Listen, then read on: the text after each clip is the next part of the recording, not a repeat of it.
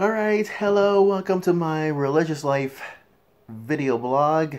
And you know why? Because because as you know, I did vid- my political life video blog at, Z- uh, at not Zelda. Oh yes, Starbucks. Because, you know, everybody's trying to pay attention, you know what I'm about. So now I'm at Zelzo Coffee House, get ready to do my religious life video blog and take it from there. Trust me about that.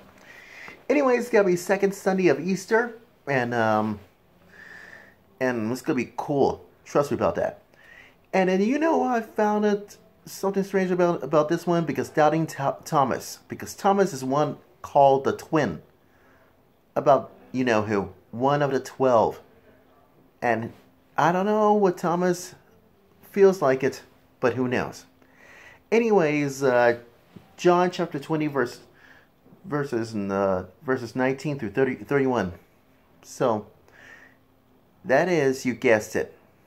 When when it uh, when it uh, you know, when it was evening on that day, the first week first day of the week and the doors of the house where the disciples had met were, were locked for fear of the Jews. And Jesus came with a came with you came and stood among them and said, Peace be with you. After he said said this, he showed them his hands and his side. And then the disciples rejoiced and when uh, rejoiced when they saw the Lord. Jesus said again, Peace be with you, as the Father has sent me. So I sent, so I send you. When he had said this, he breathed, breathed on them and said to them, Receive the Holy Spirit. If you forgive the sins of any, they are forgive them, forgiven them. If you retain the sins of any, they are retained. Now, Thomas, now on verse 24, but you know who, but Thomas, who was called the twin. You, you, you know what that means. One of the twelve was not with them when Jesus came. Came and so the other disciples told him, "We have seen the Lord."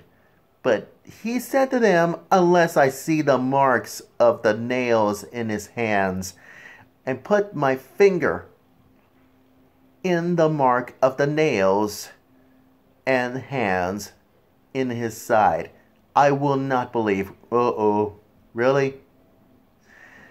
Then a week later, his disciples were again in the house, and Thomas was, was with them although the doors were shut, and Jesus came and stood among them and said, Peace be with you. Then he said to Thomas, Put your finger here and see my hands and hands. Reach out your hand and put it in my side. Doubt, uh, you should, should say, do not doubt, but believe. Thomas answered him, My Lord and my God. Jesus, and Jesus said to him, Have you not, no, no, wait, wait, wait. Yes. Have you believed because you have seen me? Blessed are those who have not seen and yet had have come to believe. Now Jesus didn't did many signs in the presence of his disciples, which are not written in this book but these are written so that you may come to believe that Jesus is the Messiah, the Son of God, that that through believing you may have life in his name. So um so so here's this is this is why uh, uh Mother Pike you know, yeah, Diane Pike, Mother, Mother Diane Pike, and uh, you know, goes to St. Andrews. She she does a huge sermon sermon about doubting Thomas. Uh, so you, she did a sermon this morning at, at my at my church, and um, and all and and you know that Mother Pike is wa- watching the Food Channel. The uh, it looks like yes, the Food Network, and she said um, I think the one of her favorite shows is Chopped. and I cannot believe my eyes and ears. Oh, yeah, I know. it's gonna be it's gonna be outrageous. And you know why she's talking about uh, doubting Thomas, as far as we're concerned, on um, uh, John chapter twenty, verse verses uh, twenty four to twenty nine, because Jesus Jesus said try to appear to Thomas. Now John tell us tells us that Thomas has not been the present on on the first day of the resurrection. And disciples tell tell him that they have seen the Lord. Well, guess what? Uh, well, Thomas doesn't believe that. Well, everybody knows could be a perhaps inside inside side uh, you know who only a ghost. But in fact, Luke tells us on verse 20 uh, chapter 24 verse 37 says that um uh, that you guessed it that uh oh yes that um tells us that it just between a meeting with Jesus and the disciples and that's why at which the disciples think they are seeing a ghost. Well, everybody knows sees a Casper the friendly ghost, whatever it is. Trust me about that. So, here's here's the thing. Everybody's is so convinced that he is not a ghost. Jesus invites them to touch him, and he eats a piece of broiled fish. Just just to clarify here, just for the information, if Thomas is simply saying that he needs to see the same evidence that they have seen, well, guess what? Here's your evidence, alright, because you touch the wounds, according to John's description, is a quite dramatic. And you want to shove his hand into Jesus' side? Well, guess what? The assumption that the disciples had told you, Thomas, about the about Jesus' wounds, and so some have taken taken your statement as the evidence that Jesus Jesus' wounds are largely enough for for one of one of them because to put one's hand in and that it's it that it wasn't uh, wasn't closed over. Guess what? The more likely Thomas is, is being so dramatic as he was earlier in the gospel. And similarly, the, you know, the language, language that everybody uses when he says that he will not believe is very empathic. Well, guess what? You now know that a week later, because you, this is why, because everybody knows, later, because everybody knows that uh, disciples, including Thomas, were locked, locked inside this room. And Jesus appearances on, on a Sundays like this came along with the timing of resurrection itself and could try to contribute the church's making primary day of worship. And that's why everybody knows about this one.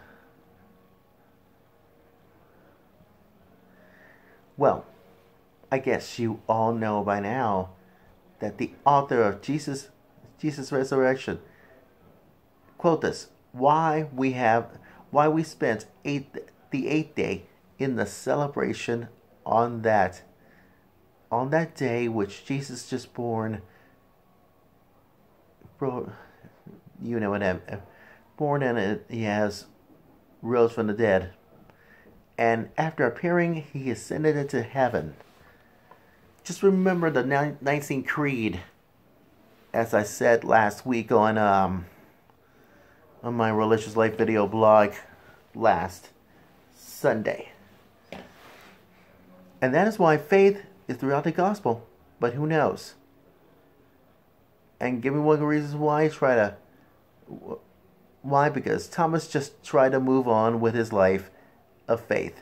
To stop doubting and believe. And, um. And guess what? Guess what? Thomas touches, um, you guessed it, finger, finger, uh, touch, touch his hands and his side.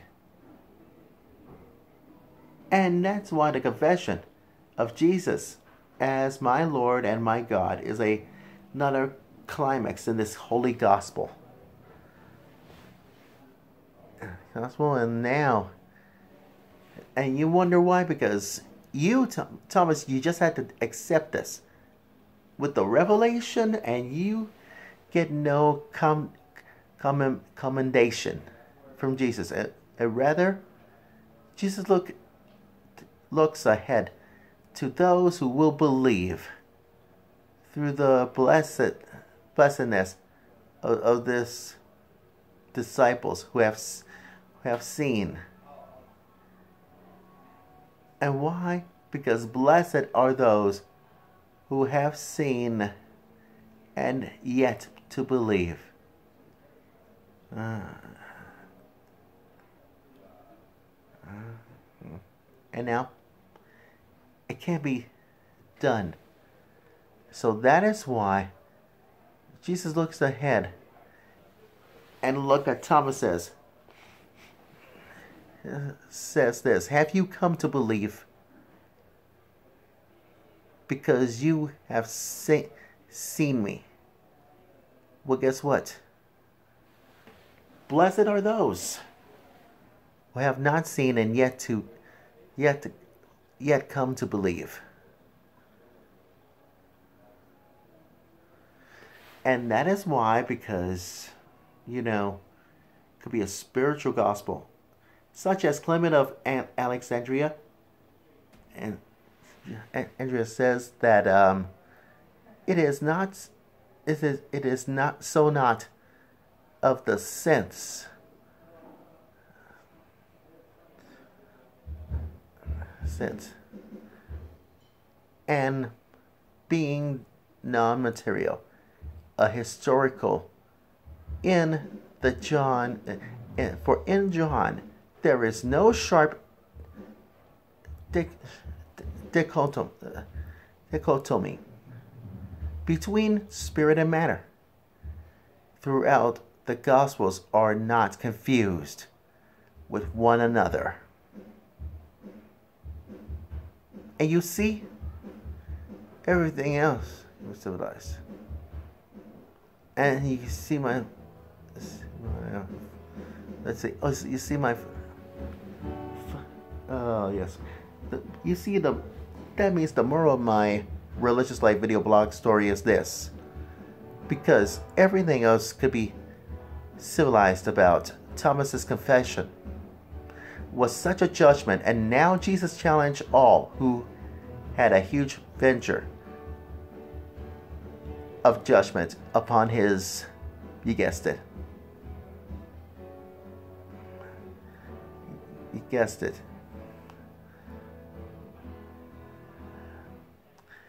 judgment upon history, and that is upon his presence.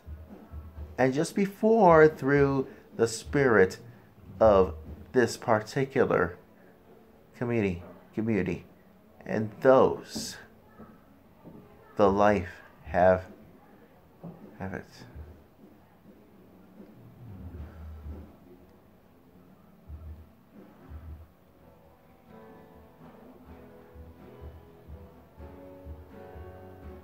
So, why not do that? Because Peter later, everybody is described such believers. And I quote this from Peter, chapter uh, 1 Peter chapter 1 says that those you have not seen him, lo- you love him. And even though do not see him, now you know. Uh, see him now you believe in him and believe and and are filled with expression expressible on on the glorious joy. And for you are receiving the goal of your faith the salvation of your souls. And finally don't you know that First Corinthians chapter 6 verse verses 20 and no verses 19 and 20 says or do you not know that that there that your body is the temple of the holy spirit who is in you whom you have from god and you are not your own